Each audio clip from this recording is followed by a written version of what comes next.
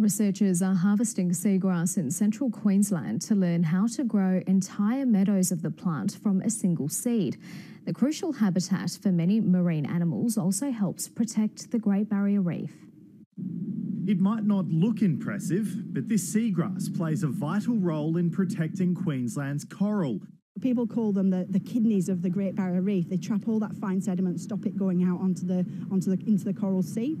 Over the last decade, these meadows near Gladstone have taken a hit.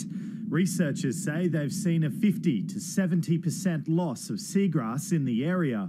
We've had a few very um, stormy years with lots of runoff and um, flooding from the land, and that creates um, a lot of turbidity in the water, which can sort of stop the light so the seagrasses die off. Scientists at Central Queensland University are now looking to give the plants a helping hand. They're collecting and studying seagrass seeds, hoping to learn how to grow them. An entire meadow can spring up from a single seed.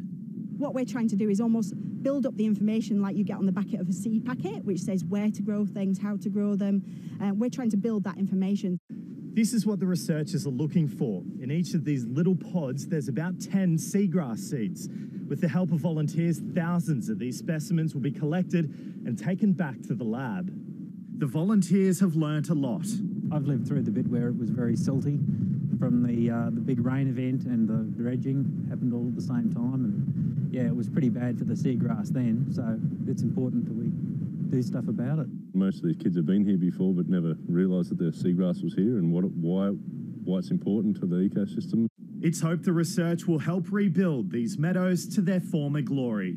Jonathan Hare, ABC News, Central Queensland.